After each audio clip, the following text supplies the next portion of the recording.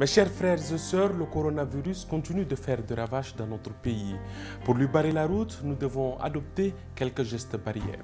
Lavez-vous les mains très régulièrement avec de l'eau et du savon ou utilisez simplement un gel hydroalcoolique. Toussez ou éternuez dans votre coude.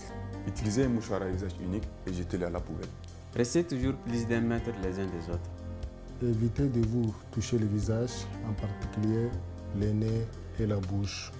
Évitez de vous saluer avec les mains, ainsi que de faire des accolades.